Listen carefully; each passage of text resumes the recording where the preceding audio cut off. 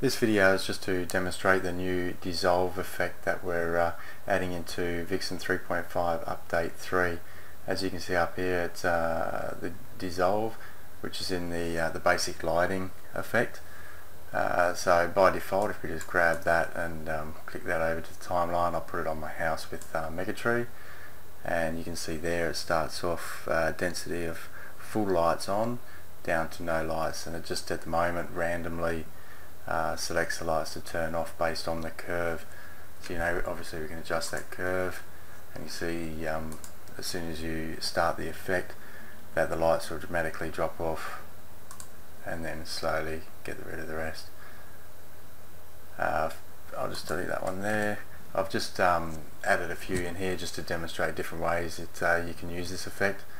Um, works really well as a, a layering effect which uh, I'll show you later uh, first off I'll just show you this one here which is basically um, just dissolves from full lights down to down to no lights. Um, as you can see I've just got a couple of colors in there. The group level up here is just like the alternating effect where um, basically the, it groups the, the pixels uh, or nodes. Um, so if I change that to say 10 each 10 uh, nodes will be that color the next 10 will be that color or, or randomly a group of 10 um, nice as you can see there. You see just uh, lines. Um, just drop that back down to a single one. Uh, now you've also got uh, random color order. So it just randomly selects out of the colors you've got here uh, to the to the individual nodes. So if we tick that off um, it might be hard to see but um, what you will see is uh, something in order um, and it will just go the blue, yellow, blue, yellow, blue, yellow sequentially. Alright, so it's just um, just basic basic one. To move on to say, uh, if have a look at the mega tree, um, this is where I've set up uh, a group level of 70. So as you can see there, my mega tree height is 70 pixels. So as you can see, each row is the, the different color, and I've got random off so it's basically going white, red, white, red, uh, sorry, white, red, blue, white, red, blue. Uh, if you tick random, um, as you can see it's now random. I've got like, you know, white, white, blue, blue. Um, and also the reason why it's moving in and out. Basically you can see it starts in the middle here because I've got the starting node at two, uh, 1200 and then a group level of 70, so 70 high. So obviously I can put that back down to 1 and you can see there it's just um, individual pixels random color take random off and you can see a nice um, alternating pattern there between the three of them. Uh, also if I drop that back down to the starting node of 1 it obviously starts from the left and sweeps across.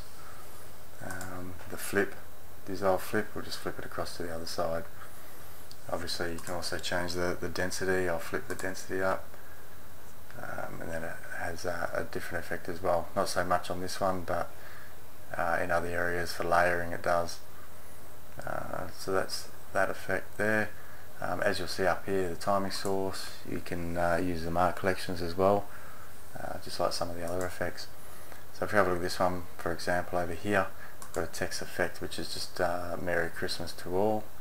Um, basically by itself uh, you won't see at the moment because the default layer is intensity so I'll just change that back to default. That's basically all it is is the text effect.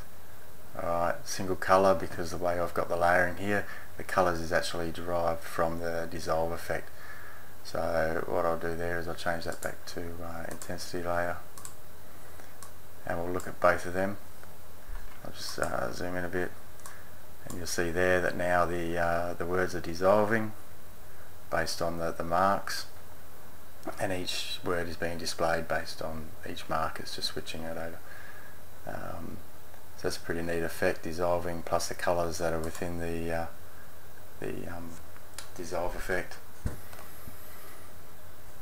Once again you, you can change group level you know, random dissolve that sort of stuff um, by itself.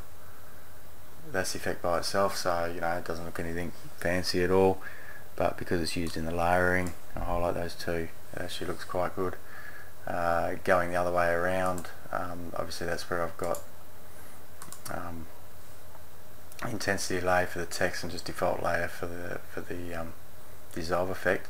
If I come over he here I've got the text in the default layer and then this time the dissolve in the mask. So the mask just needs the one colour, um, that's irrelevant because it's just the mask. Um, and then the, the text obviously got the three colour, uh, sorry, yeah, three colours there. So now when I watch the both of them, it's using the text colour and then dissolving each word. Um, obviously this dissolve effect uh, looks quite good with uh, pictures as well.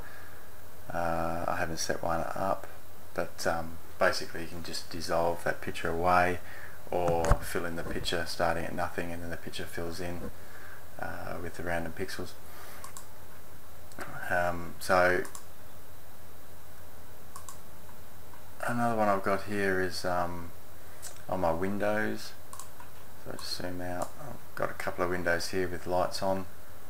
Um, and basically if I highlight those four you can see there that each mark um, basically I've got it set to mark label pixels. So basically it's looking at the label and for this mark it's um, putting 5 pixels on then the next mark it's 10 pixels in total 15 and then 20 pixels so as you can see you can um, increase it by just say these were beats uh, beats of the music a bit like um, vertical meter or something.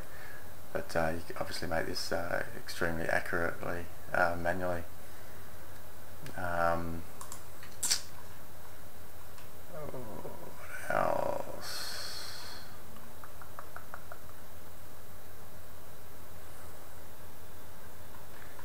Okay if I just add another um, dissolve effect over to here. Stretch that out. Because now you can also select mark collection. We'll do default marks which are the white ones and this time we'll use the, the mark label percentages. So basically 20% of the lights will be on uh, during this um, mark length and then 40% of the lights, 60% of the lights, 80% of the lights. So you've got two different options there. You can use the labels as a percentage or the labels as pixels. Um, so if we zoom back out, um, depending on what you want to do, once again you can use that to the beats or, or whatever. Um, so, but if you want it per mark, uh, select per mark, then the actual density curve is per mark, so in between the two marks so each mark is going to be the same. Um, just another another effect you can do there. And that's probably about it. As you can see it's uh, got quite a few features there and um, it basically uh, expands the use of all the other effects by using layering. Thank you